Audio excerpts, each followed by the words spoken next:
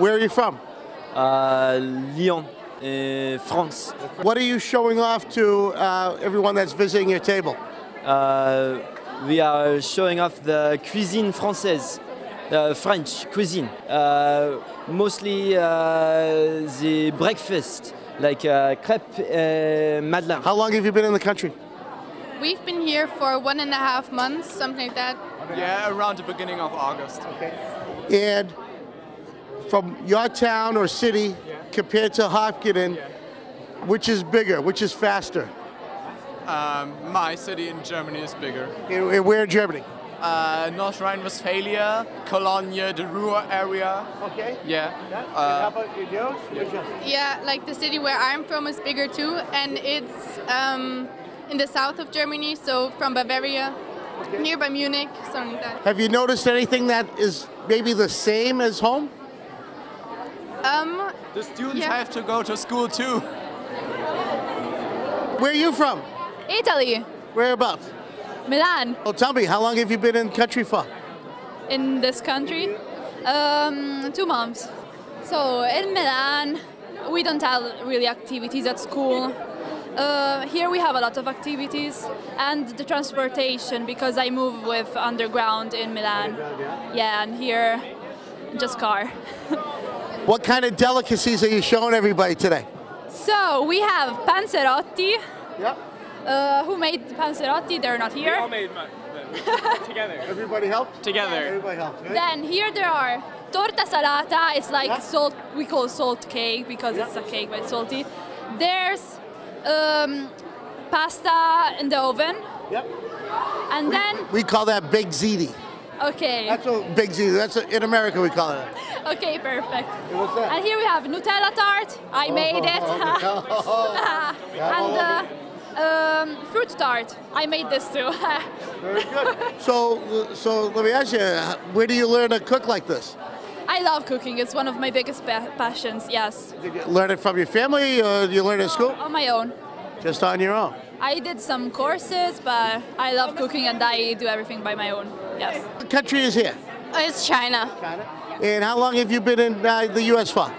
Um, about two years. What are you showing everybody here tonight?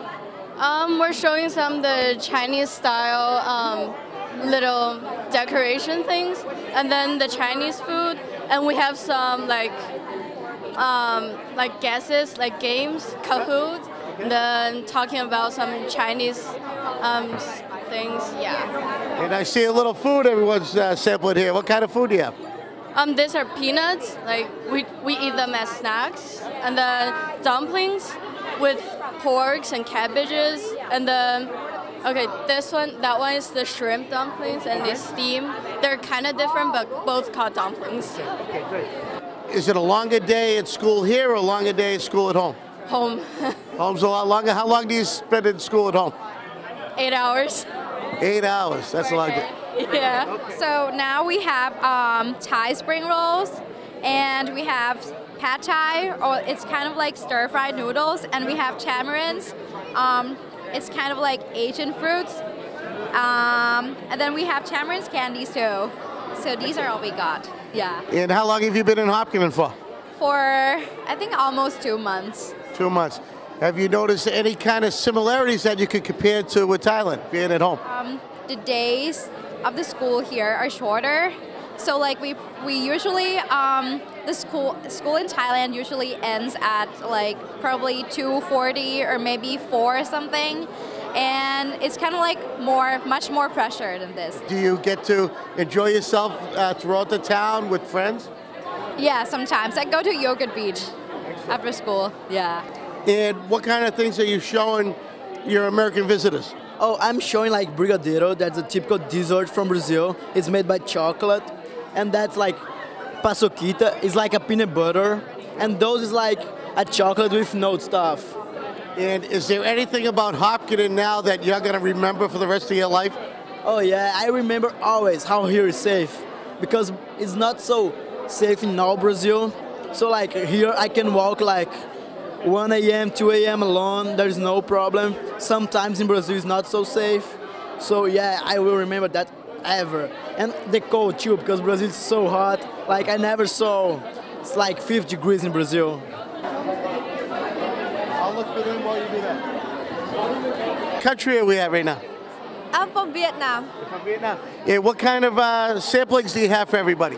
I have here some flavored, no, some uh, chips that are shrimp flavored and have spicy fried rice. Excellent. All right. So how long have you been in Hopkinton for? I think for about one month and a half. roughly. And do you notice any kind of similarities to school life here to school life at home? I could say that it's a totally different world because in Vietnam we start school at 12 p.m. So like I have to wake up really early now and I didn't like it.